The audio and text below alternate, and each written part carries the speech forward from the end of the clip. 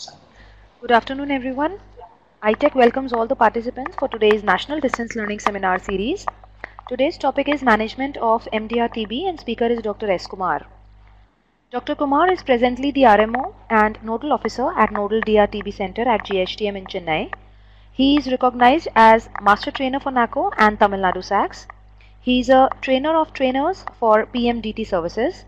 He is co-author for many papers on HIV and TB and his field of interest includes care and support for HIV and TB patients. We welcome you sir for today's NDLS session. I would request Dr. Kumar now to kindly take over the session.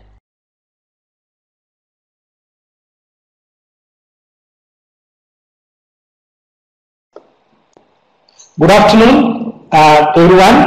Very happy to be back at the National Distance Learning uh, Seminar Series, and I thank uh, our uh, uh, I-TECH team for uh, their, uh, arranging this and also introducing me.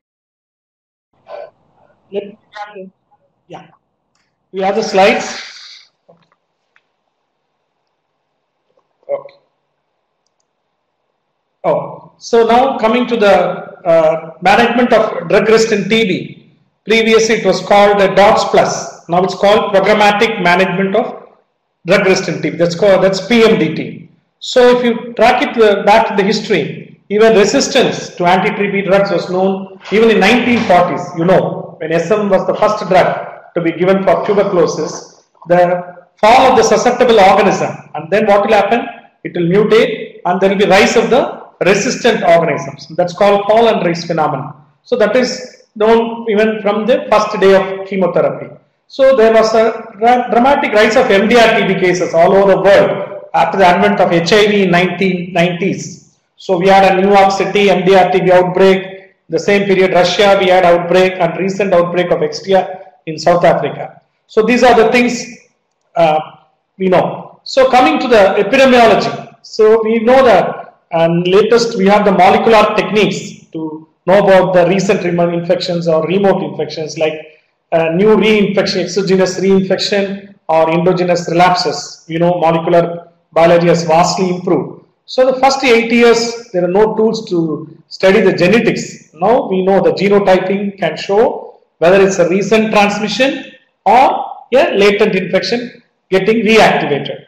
So important thing in drug resistant TB you should know in the epidemiology is that the recent RTP, RTCP, DRS studies have shown in new cases around 3% are MDR. That's called primary MDR. So in new cases we have 3% of them are primary MDR cases. And in the retreatment cases almost 12% are acquired MDR. So almost in retreatment you have to concentrate more where 12% are drug resistant TB cases. Next coming to how we have come across how the vastly the drug resistant TB management has improved. So a brief uh, background on the history. WHO has understood the importance of uh, the PMDT services. So now we are from 2000, we have been concentrating on that and the Green Light Committee told that we need a quality second line drugs to combat drug resistant TB. So the Global Fund Against AIDS, TB, Malaria, GFATM started funding the MDR-TB from 2002 and from that onward, onwards we have gone leaps and bounds and improved dramatically in the management of drug resistant TB. So the PMDT, previously called the DOTS Plus, projects multiplied all over the world globally and uh, the treatment of MDR-TB cases integrated into the regular RNTCP, Revised National TB Control Strategy in 2007. So in 2008 or 7, the first MDR-TB treatment CAT4 regimen, the standard treatment regimen was started and it has not looked back. Now from now almost for the 12 years, we have gone leaps and bounds and improved dramatically in the management of drug resistant TB cases. So what is that uh, drug resistant TB? So we know the presumptive TB means anyone who has got cough for more than two weeks or uh, chest pain, hemoptysis, evening rise of fever, night sweats. Whereas a presumptive DRTB is that TB patients who fail the treatment with first line drugs, you all know the fixed drug combination of INH, rifampicin, pyrazinamide, EMB are the first line drugs. So anyone who's started on the first line drugs, even after two months of follow up, they're still to be sputum positive, they are suspected of drug resistance. So any previously treated TB case, it could be a relapse, it could be a resistance, it could be a defaulter, all are presumptive drug resistant TB cases. And patients with HIV co-infection are suspected to be presumptive DRTB. So we have to start diagnose the thing early and that is the important thing. So any pediatric TB non-responders are suspected of drug resistance and um, any TB patients who are contacts of MDR TB or RIF resistance TB are also presumptive. So this slide is very very important in that in this slide an integrated drug resistant TB algorithm as well as treatment algorithm. So we have the um, we have on the this side we have the presumptive TB cases or the new cases of this around 3% of primary MDR TB and all the, this side of the all the old TB cases already told they are the suspected drug resistant patients where non-responders DRTB contacts previously treated all everyone here. Whereas here also vulnerable population all these are come. So what is that government has done is that this is a the CBNAT or already you know the molecular diagnostics have improved. The cartridge based nucleic acid amplification technique that's called the technique and the machine is called GeneXpert machine. So the GeneXpert is now actually it is substituting the universal global UDST drug sensitivity testing. So in any case we are going to do a CBNAT upfront to find out the RIF resistance of MDR so we are going to do a um, uh, upfront we are going to do a CBNAT. We are doing the CBNAT upfront for all the cases. So that is very, very important thing. So we have already now scaled up everywhere. So all the patients, irrespective of new or old, are done CBNAT upfront to find out the drug resistance at the earliest. Suppose the patient is found to be RIF sensitive. RIF sensitive means it's a regular uh, drug sensitive TB. So we are going to give first line treatment. But we are not we are not happy with that. We are not stopping with that. We are going to do a LPA test. The other molecular test is the line probe assay. That's called line probe assay. We're going to talk about it later in the slides. So the line probe assay is another important armamentarium in our uh, program to find out the drug resistance early. So in any regular patient, sensitive patient, we are going to do a first line LPA which will find out the INH mono resistance. Suppose he is INH sensitive means you are going to continue the first line drugs and finish the treatment. Suppose he is a INH resistant means we are going to give a different regimen. All uh, oral regimen only 6 months no intensive phase, no continuation phase. We are going to replace INH levofloxacin with the other drugs like rifampicin, pyrazinamide and EMB. All the four drugs are given for six months. So this is an important thing all of us should know that even a drug sensitive TB after seeing that the CBNAT is sensitive first line treatment is started but we are going to do a first line LPA to find out the INH mono resistance. Previously in the program we were not having any good regimen for the INH mono resistance but now we are having a isolated six months regimen of levofloxacin EMB, pyrazinamide and rifampicin. This is the INH resistance. Coming to the this arm, therefore the patient is RIF resistant. That means RIF resistance means the patient is a MDR-TB. By definition, MDR-TB or INH rifampicin resistant. Also isolated RIF resistance is also MDR-TB. So what we are going to do for all the patients of MDR-TB, we are going to start a shorter MDR regimen. That is the universal worldwide is being followed. Our program also, irrespective of the thing, but there are some limitations. I'll come in the subsequent slides. So we are going to start a shorter MDR regimen and we will continue that. We will do a second line LPA. So the LPA technology is being made good use in that we are going to do a second line LPA where we will be finding out the resistance for quinolone, quinolone and second line injectable. Suppose the patient either one is resistant or both are resistant, they are pre-XDR or XDR TB where we are going to stop the shorter MDR regimen and put them on a 20 months all oral regimen with newer drug or without newer drug. Suppose both are sensitive, the patient will continue the shorter MDR regimen and you will be finishing the regimen. So this is the important slide in that entire program, the treatment as well as diagnostic algorithm is explained in this slide where any patient new or old coming will be doing a CBNAT. The CBNAT will tell you it is a substitute for universal drug sensitivity testing. So upfront we will know the rifampicin resistance status. Suppose the rifampicin is sensitive, we are going to do a first LPA and find out INH monoresistant. Suppose rifampicin resistance is MDR-TB, started on shorter MDR regimen and second line LPA is given. Second LPA shows pre-XDR or XDR, then we'll be giving a 20 months all oral regimen. So this is the important slide and I think all of our ARTMOs and others and our paramedics all should know about this important changes in the program. So what is the definition of MDR-TB? For completion sake, MDR-TB is defined as tuberculosis resistant to INH and rifampicin with or without resistant to other drugs.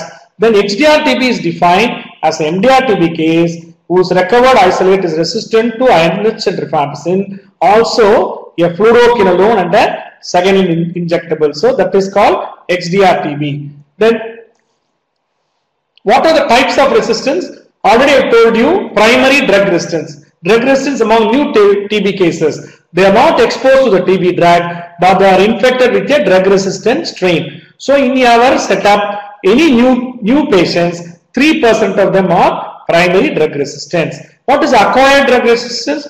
Drug resistance in previously treated cases who are exposed to the TB drugs or during the course of treatment is called acquired drug resistance, which is very, very important in that in our setup, 12% of our old cases are acquired drug resistance. What is national drug resistance? Natural, sorry, natural is that this is not important in the public health program. Some of the tribes, some of the races are uh, they are resistant to a particular drug. Say, for example, one uh, wild uh, is resistant to one of the uh, tribes uh, in a forest. So this is not important in the public health program. Just to keep it in mind that there will be some natural drug resistance where the patients or the relatives not exposed to the drug, but by nature, by race, they are resistant to that drug. So how the drug resistance develops? The, the Mycobacterium tuberculosis, you know, way back it was found out in 1872 by Robert Koch that uh, TB is caused by Mycobacterium tuberculosis. Even after so many years, after 125 years, we are not able to um, control or eradicate, eradicate the tuberculosis because of its uh, it's it's so it's so uh, survival instinct. So it wants to survive. So that's why it will create a lipid-rich cell wall which will prevent the drug from penetrating, or it will do produce some enzymes that will degrade the drug. And commonly, what will happen? A genetic mutation occurs, random genetic mutation that will have a problem. So what uh, what is our duty is that we should see to that we prevent the drug resistance. So MDR, MDR-TB is a man-made phenomenon. So remember the three P's. Poor treatment is due to the physician. Suppose the physician is giving a subtherapeutic dose or the physician is giving a very high dose which is toxic or side effects are there, patient will stop the treatment. So poor treatment means it is physician. As other physicians, we are responsible for treating the primary, that is the first line treatment should be very correct so that they don't, we don't we don't encourage or we prevent the MDR TB. So the poor drugs means the program. So poor drug means other P. Poor drugs equal to program. The program now it is very robust. We have all the drugs which are continuously uh, it is available. So we open a box for a patient. So there is no longer uh, discontinuity or non-availability of drugs. So we have a good quality drug with good supply chain so all the drugs are available for all the patients. So poor drugs, which is program based, is now almost almost it is good. What is the adherence? The poor adherence is patient. The third P, poor adherence is patient. We always blame the patient. We tell that patient is not taken the problem. He has defaulted. But it is our duty. We should be accountable. It's our duty to see to that the patient takes the drugs properly. We should counsel the patient address the adverse drug reaction so that the patient takes the treatment. So the first line treatment, six months of FDC, if they properly take it, we can prevent the MDR TB. So three, remember the three P's. Poor treatment is physician, poor drug is program, poor adherence is patient. So as first thing, physician, we should take up the accountability. We should not blame the patient. We see to that they take the first line drugs, finish the treatment so that MDR TB is prevented. So the genetic mutation leads to drug effectiveness. So the inadequate treatment is the main culprit. We should not give subtherapeutic dose. That's why now we have we have weight bands, five weight bands now. More accurate dosing, fixed drug combination so that patient selectively not stop any drug. All the four drugs are in the single pill. So one day uh, the, the treatment is made easy and the calculation is all five weight bands. Everything is more accurate. So we can have a more accurate dosing which will prevent adverse drug reaction or a subtherapeutic dose. So what are the, now we have finished what is the program related thing. Now what are the diagnostic tests we have? So the direct test is the gold standard microscopy. Way back in so many years, the microscopy is the first thing. Now we have the culture. The culture is solid as well as liquid culture. So solid culture, liquid culture. Solid is LJ medium. Liquid culture is the MGIT, mycobacterium growth indicator tube. Then we have the molecular nucleic acid techniques like the GeneXpert, LPA. Then we can have the antigen detection, FADS based assays, liquid chromatography. All these are more advancing tests. So what are the indirect tests where the bug is indirectly uh, uh, followed or what is that? We have the Mantoux test, tuberculosis skin test and the next thing is the IGRA, interferon gamma assay. The serological test, we have put it in red. Serological tests are being banned by WHO. Antibodies against uh, tuberculosis like IgM, IgG, we should not do because they're also non-specific. So kindly avoid doing the serological test for TB. So the other things are valid. All the diagnostic tests are being endorsed by WHO. So what is the diagnostic tools we have? The sputum smear, we have the Ziehl-Neelsen, the original.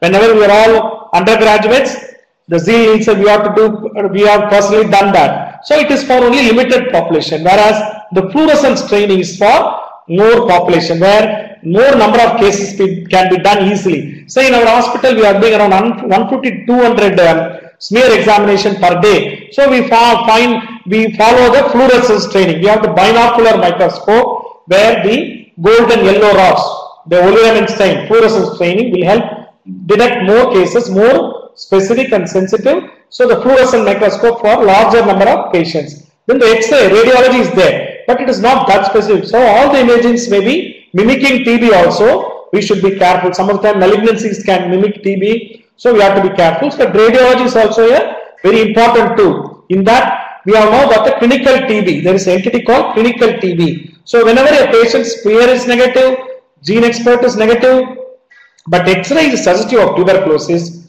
we can start anti-TB treatment and follow up the patient. That is called clinical, no longer empirical, it's clinical tuberculosis. Then we have the growth-based phenotypic testing like identifying the bug itself, phenotypic testing. That is the uh, LJ culture and the liquid culture, MGIT, BACTEC. So first line, second line, other drugs we can do with that, the liquid culture and drug sensitivity. Then the rapid molecular test are called the genotype test. So you are going to identify the genetic material of the organism. So we have the CBNAT. Already we told you about the CBNAT, cartridge based nucleic acid amplification. And second is the line probe assay. So one by one now we'll see what are the tests and how they are very useful. So what is that culture? Culture is the most uh, important sensitive, you know. We have been reading about the LJ liquid LJ medium, Lawrence Jensen medium. So what is the disadvantage? It takes minimum 45 days to grow. So another 45 days for drug sensitivity. So the turnaround time is 90 days. So the 90 days is very long duration where for clinicians it will not be helpful. So uh, then comes the, so now this slide shows you, um, here you can see that the conventional solid culture is here, the growth is here, the green, malachite green, so LJ medium egg based, it takes more time, 45 days. Whereas the BACTEC is there, trays are there where the mycobacterium growth indicator tube. Tubes will be placed inside, it will be pushed and within two weeks you can know the result. So faster direction of growth, higher sensitivity. So within two weeks you can find out the growth. So liquid media only two weeks to grow the organism, another two, three weeks to know the drug sensitivity. So only in 40, 42 days you can know the so two weeks you can diagnose and another drug sensitivity another two, three weeks. So the turnaround time is almost half of the solid culture. So that is very, very important. So these are the two things. So what is that? The BACTEC we have this non-radiometric is better. So radiometric we are avoiding. So the midget, midget is now being used everywhere. The growth tube will be there. The growth of the mycobacterium will be demonstrated by the fluorescence. This fluorescence will be at the lower end.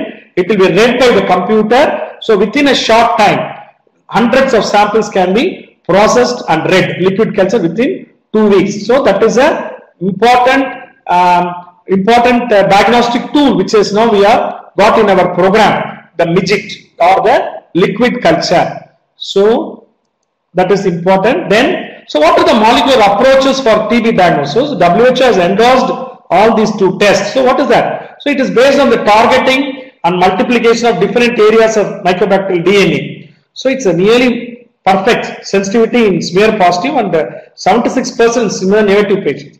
So what is happening? False positives rarely can occur due to contamination of sample with environmental mycobacteria or some unspecific attachment. So false positive are rare, very rare, seldom can occur. But false negatives are more. False negatives are in that it commonly occurs because a low number of mycobacteria. Suppose the sample has got less than 100 something, it cannot be detected by the even the molecular test, very low number. So that is one important thing. Okay. Then comes the uh, WHO recommendations. So WHO in 2008 recommended first the LPA, line probe assay. Various companies names are here. Just no need to bother about that to find out the rifampicin resistance. Then came the GeneXpert that was endorsed in 2010. See, GeneXpert is easily it can be done, whereas LPA needs more infrastructure, more technical expertise. And uh, now coming to 2016, WHO has issued a new policy for LPA in the direction of resistance second line TB. That's the second line LPA. Then in 2017, we got the Ultra GeneXpert Ultra. So these are the various things which have been WHO has recommended. So the molecular tests have revolutionized the diagnosis of MDR TB. So what is GeneXpert? So it is a molecular based, uh, there will be uh, so many probes are there. First the MTB protein will be detected by the first set of probes. The second probe will detect the gene uh, RPOB gene which is responsible for RIF resistance. So it is very very sensitive in gastric aspirate used in the WHO for the pediatric population. So what will happen with the reagent 2M this sputum is uh, put in sputum or ascitic fluid or pleural fluid or uh, peritoneal fluid or CSF we put here and they are mixed. 2 ml of that is taken into the cartridge and it is being pushed into the chamber. That's all. No more hands. So technically only a lab technician is enough to prepare it and push it into the chamber. So what will happen then? It will sample will be ultrasonic uh, uh, lysis will happen. It will be clean. Then DNA uh, the dry PCR reagents are added and both are mixed and it is read and the result will come out as a printout within 2 hours.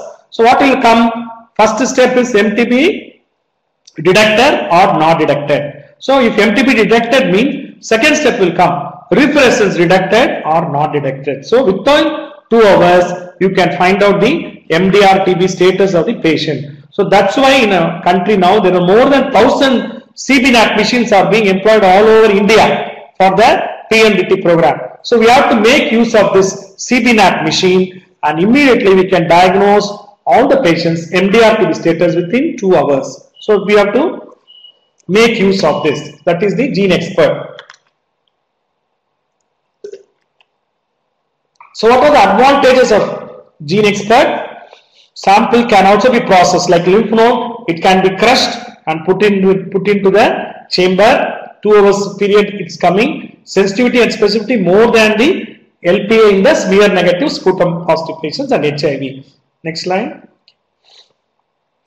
So now comes the Ultra. What is GeneXpert Ultra? It is a new machine which has been more uh, accurate and it's been produced now. So it's an Ultra machine. There is an Ultra cartridge, larger chamber for DNA amplification. So what is that? Even 116 bacilli in smear 1 ml will be detected, whereas GeneXpert needs 131 per ml. So as low as 16 bacilli can be seen in the GeneXpert Ultra, which is also available in some selected places.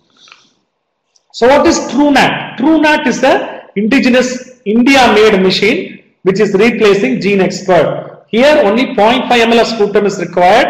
It is battery operated and it's not automated. So you can do it in the field itself. At the doorsteps in the villages, hilly areas, you can diagnose MDR TB or uh, ordinary TB and one test at a time. So the paramedics can carry it in their bag, take it to the doorstep and do TrueNAT. So TrueNAT is the indigenous, Indianized version of GeneXpert. So it is cheap also.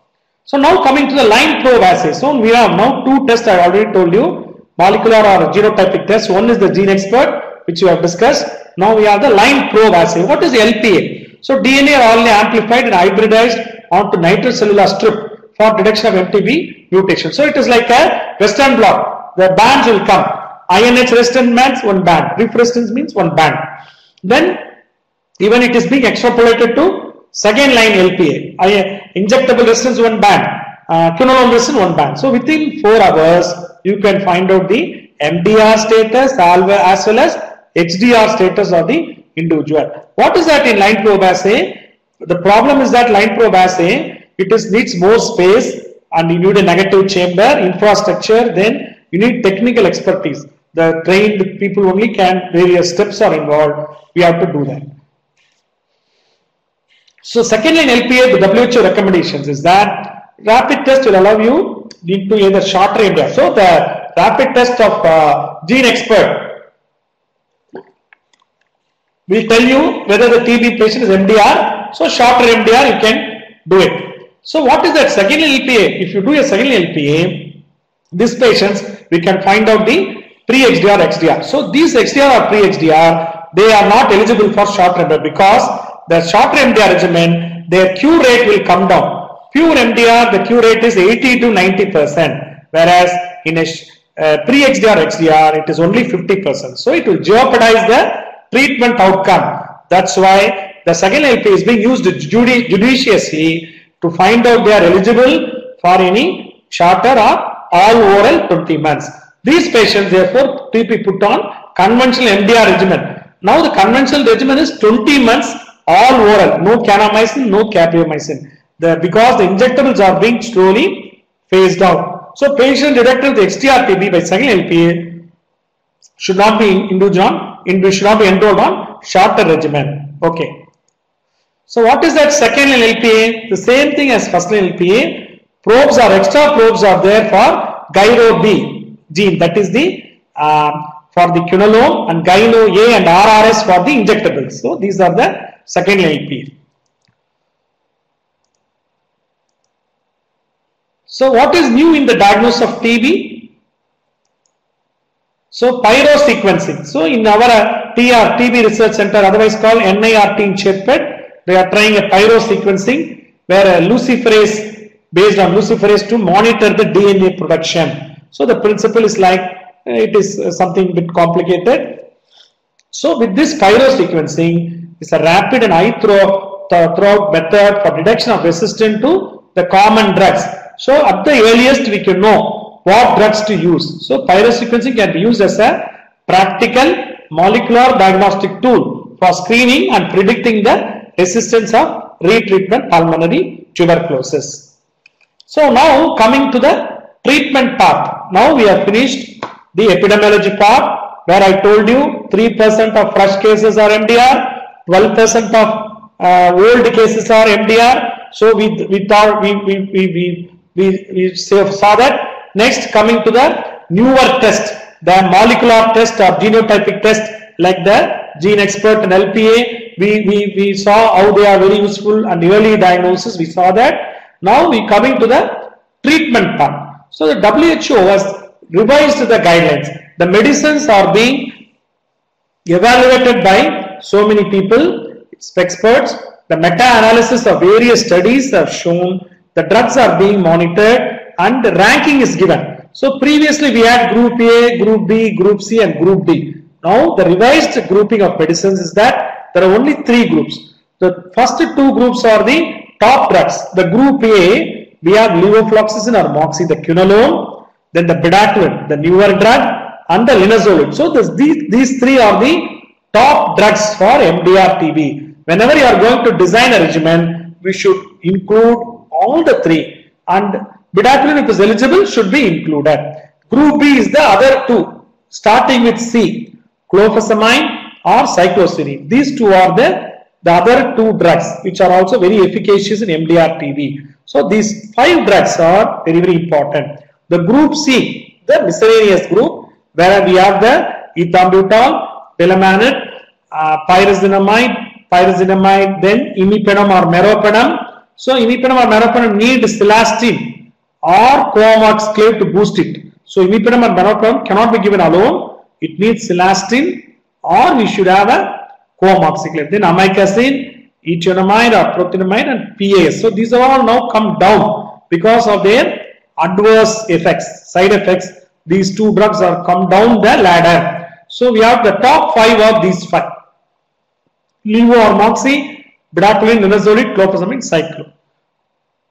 So we have to des design a regimen using these. So what are the newer TB drugs? There are only two which are now available, bedaquiline and delamanid. There is a third drug which came recently, it's been focused, which is very, very efficacious, but it may take some time to come to our place. So the bedaquiline is a new drug with anti-TB effect approved for treatment of multi-drug resistant by US FDA. So it has a strong bactericidal and sterilizing activity, long half-life of five and a half months. It's shown significant benefits in improving the time to culture MDR TB. So what had happened? We had fast-tracked the bedaquiline and after conditional access program, after two years, now we have included into the program. So bedaquiline is being used in the adult pulmonary TB. We are not not yet on extra pulmonary, but lymph nodal effusion case also we are treating. So it is part of the background optimized background regimen. So bedaquiline plus another four second drugs. In addition, is that if it is a can done. So this is a uh, whenever there is pre-XDR XDR, we have to start them on the bedaquiline. Other drug is the delamanid. So delamanid also is a useful drug. So what is the difference between bedaquiline and delamanid? Bedaquiline for age above 18, delamanid for below 18 up to 6 years. So introduction of delamanid also being done now, but uh, bedaquiline is there available for all over, whereas delamanid being now in, introduced in a phased manner in every place. Next. So what are the various regimens now available in the PMDT? Standard DRT. What are the thing? Uh, all oral H monopoly regimen already told you uh, six months of drug for INH mono or some other resistance polydrug. Then we have the shorter MDR regimen and then we have the all oral regimen with or without new drug 20 months. So for MDR practically we have two regimens. Shorter MDR regimen with six months of injection, only 9 to 11 months only treatment. Other than that all oral longer regimen with bedaquiline or without bedaquiline 20 months. So patient is less than 17, we have to give delamanid, more than 18, bedaquiline and delamanid. So this is in a nutshell. So what are the regimen available? INH mono, I told you 6 months of, 6 months of, uh, 6 months of levo, rifampicin, EMD, pyrazinamide. No intensive phase, no continuation phase. All for 6 months. H mono. Then MDR TB, we have shorter MDR regimen. 4 to 6 months of intensive phase of moxifloxacin, kanamycin or amikacin, ethionamide, clofazimine, pyrazinamide, idosynate and EMD plus 5 months of continuation phase. We are giving moxi, clofa, pyrazinamide and EMD. We are stopping the injection and idocyanate and ethionamide. So three drugs are stopped. This is the shorter MDR regimen. This has to be followed for all the patients. Provided if they are pre-XDR, XDR, then we have to go for the all oral 20 months, 18 to 20 months, bedaquiline 6 months, linezolid, levofloxacin, linezolid, clofazimine and cycloserine. Here this rider is linezolid first 6 months 600 followed by 300 because of the toxicity. So we have to be very careful. So it is a 20 months regimen. First 6 months bedaquiline, remaining months all the drugs and linezolid half the dose after 6 months. So this is the all oral. This is being being followed all over. So shorter MDR, all oral, longer regimen. Okay. So now we have know what are the regimens available. So what is that shorter MDR? Why we are following everywhere?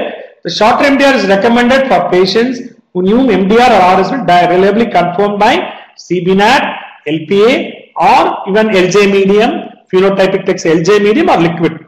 And they are pure MDR, very important. If they are resistant to quinolone or second line injectable, they are not eligible for shorter MDR. So children also can be started, HIV patients also can be started. So we have to offer the shorter MDR for all the patients. Why? Because it is only 9 to 11 months. I'll tell you in the next slide why it is so. So the treatment is 9 to 11 months indicated for pulmonary and extrapulmonary case like effusion lymph node. They are what who are all not to be given?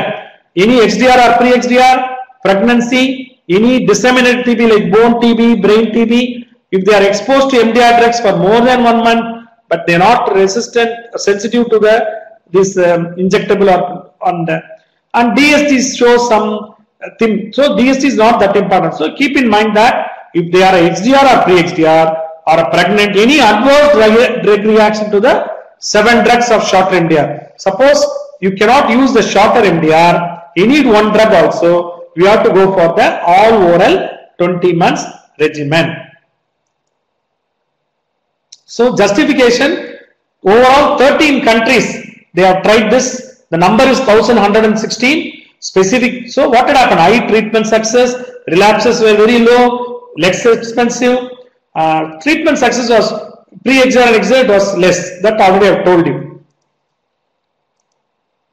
So all, all what is the all oral longer regimen? Patient in whom shorter MDR TB cannot be considered. Already told you for a reason maybe due to resistance or tolerability, pre-XDR, XDR, special situation, we have to go for a all oral 20 months regimen. So in the what is that? In the GHTM, we are the I want to share our data. So I told you 2008 we started the PMDT program, DOTS plus program. Those days we didn't have the GeneXpert or LPA. So what was that? We can diagnose only 54 patients in 2009. We started them on the CAT4 or CAT5. What happened? Once you know that molecular tests have come like GeneXpert and LPA, it doubled in 2010, 124. So initially we are seeing only the tip of the iceberg. Now we are seeing more cases in the community. 2011, 181. 2012, more cases, 435. It reached the peak in 610, 2013. Now why it is dropping down? Because now we are decentralized. We have nodal DRTB centers for every 1 crore population. So every 10 lakhs, like 1 crore, we have a nodal DRTB center. So in Tamil Nadu, we have 7 nodal DRTB centers to cater to the MDR-TB. So once it is decentralized and we have diagnosed all the patients in the community, now it is slowly stabilizing 326, 373, 370, 340. So this is the scenario. XDR also same thing. We diagnosed in 2011 11 only 9. So it reached 19, 17. So it was increasing 37. Then now it is decreasing, reaching a plateau. So this is the epidemiology or data of the Tambaram. So what is the test we have done? So we have done so many LPA, so many GeneXpert, all are increasing. See almost now now we now we have done the universal DST 11,000 GeneXpert. So everything is now being increasing. So we are making use of the GeneXpert and uh, our our statistics on bedaquiline.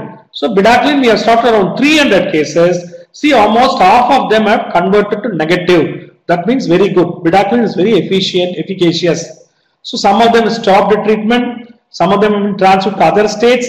The died 47. Why they are the death is 47 because a lot of them are started late because during the earlier days we didn't have the GeneXpert or LPA. So once the destruction occurs of the lung tissue, cor pulmonale, pulmonary hypertension, so they all died of the complications of TB. So now we are starting them early because of GeneXpert and LPA. We are starting treatment early. So this loss of death is being now prevented more. So we have to be very careful. Subject the patient for GeneXpert and LP at the earliest so that we can diagnose and bring down the mortality of the MDR TB. So cases lost to follow up 25. So we have to concentrate more on them. So when they are lost to follow we have to track the patients, counsel them and bring them back to the program.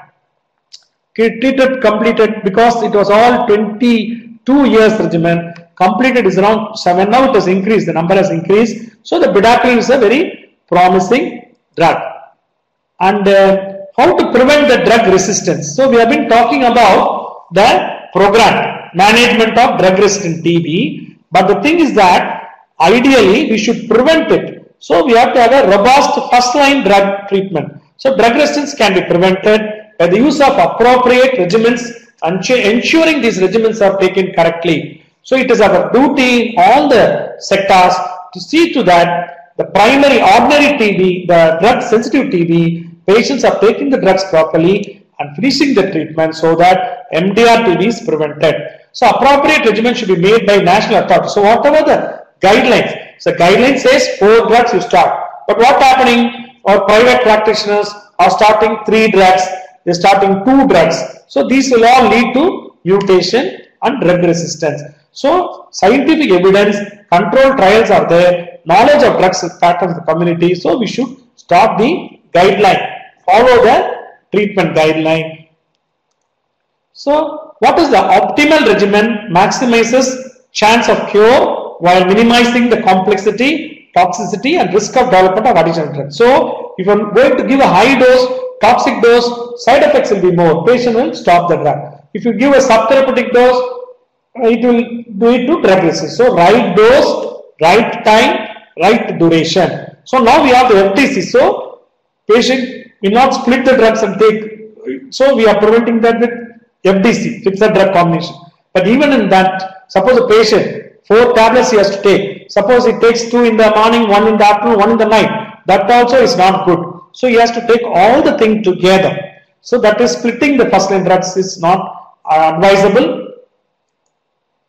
So see the MDR TB, the institutional outbreaks can happen. Overwhelmed public health programs and complex clinical management issues may contribute to the convergence of MDR TB and HIV infection epidemics. That's why we have the air infection control, 3I project, intensive case finding, INH prophylaxis and air infection control, fast tracking of 4S symptoms. So the MDR TB we should be very careful in an HIV infection. So there can be a nosocomial outbreak of the disease. So early diagnosis and subjecting for proper second line drugs will be very very important.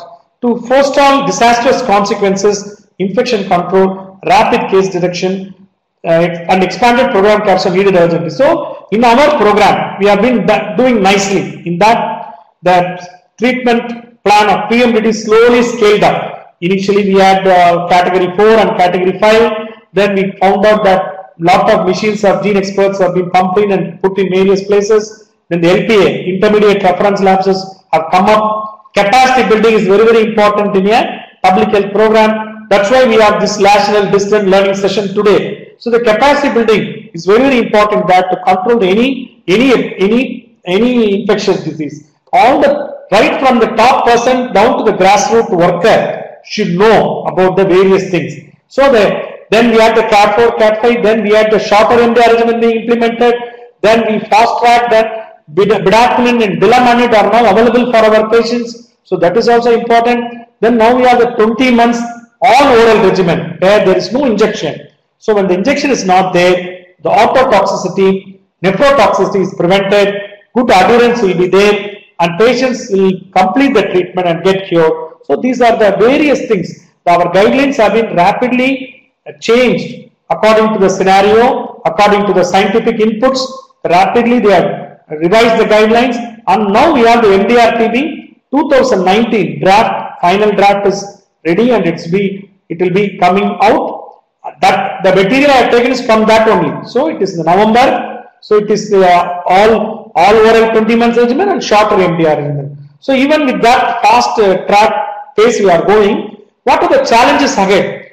The management of close contacts of MDR TB is under debate. For uh, for example, in a drug sensitive TB, close contacts we give INH prophylaxis six months. Same thing for HIV patients also we are giving INH prophylaxis. Now we are going to do a to a 3 HP trial. 12 weeks, every week we give um, INH and rifampictin. So every week, 12 weeks. That's called 3 HP trial. It's going to be followed all over the India so that the latent TB breaking down to become TB is being prevented with this uh, 3 HP trial. So that is there in the drug sensitive TB. Whereas in MDR TB, how the close contacts can be um, managed what chemoprophylaxis can we give them. So these are all gray area. Ideal thing we should see to that they are screened for MDR TB. Whenever they get a sputum positive immediately, you have to do a GeneXpert, LPA and then fast track the diagnosis for close contacts of MDR TB. And other thing challenge is that the uh, diabetes. So the diabetes outbreak or the diabetes epidemic. So every other place we have diabetes. So what are the problem is the the diabetes is a problem. We have to combat that. Ideally, insulin, other things should be available. And ideal diabetes control should be made available. The HbA1c should be available in all the places. Control of the diabetes. So extrapulmonary drug resistant TB, it's very difficult to diagnose. The material is very difficult to get. So you get a CSF, you do a GeneXpert. It's very difficult to do LPA or liquid culture follow. So genotypic testing has to be standardized. So extrapulmonary only clinical follow-up is there dietary supplement and nutrition assistance to be addressed. That's why we have the direct beneficiary transfer. So money is being directly put to patient's account for a, a dietary supplement and nutrition assistance. That is being taken care by the program. So we have the Nikshay ID where all the uh, uh, uh, all the TB uh, cases are notified. They are all being uh, program. It's being uh, registered then direct beneficiary transfers there, all the results are entered. So it is very good in that we are tracking the cases and the good data will be coming so that operational research will be better and newer uh, newer policies will come up soon. So I think the data next I think will be the final slide. My slide, I think the final present slide is the take home message is that implementation of good quality DOTS program is the first priority for TB control in India. You see that the first line drugs are taken properly so that drug resistance is prevented. Prevention of MDR is more imperative than treatment. So we have today we have assembled for finding out the treatment part. But ideally it should be seen, seen to that the situation is not occurring. First line drugs are more efficient, less, less uh, side effects and very cheap. So MDR-TB cost more than 20 times. See the bedaquiline is very costly. Bidatilamide is very costly. So we have to be very careful so that the financial part also we can save more by implementing a good first line DOTS or 4FDC program. Now it's called not DOTS, 4FDC daily treatment, not directly observed, it's daily treatment. Next. So unite to NTB, leave no one behind. So with the WHO told by 2035, we have to bring it to so many levels so that it is almost eradicated. But in our country, we are fast tracking. We want to see to that by 2025, we are achieving the goal, what the millennium goal, what the WHO is endorsed. So that is the optimism. We want to do it early. So the pessimist will see difficulty in every opportunity. I have seen, I am in the program for many years. see that the MDR-TB patients did not have any proper drugs. It was not the program. Then the follow-up of patients, only LJ medium. Now what has happened? Slowly, one by one, liquid culture has come GeneXpert, LPA. Now there are standard good treatment available. All the patients after one week uh, they stay, they go back, they are taking the treatment at the home. So, so much has happened. So we should be always optimistic and see to that in opportunity, every difficulty, we should the opportunity come out of it. So that's my thing. I, I, I thank all, all the participants for their patient listening and any queries or doubts you have, please you can type it out so that we can discuss it with everyone. So I, I once again thank I-TECH uh, and also the organizer of NDLS for giving me this uh, excellent opportunity to be here after a long time. Thank you so much.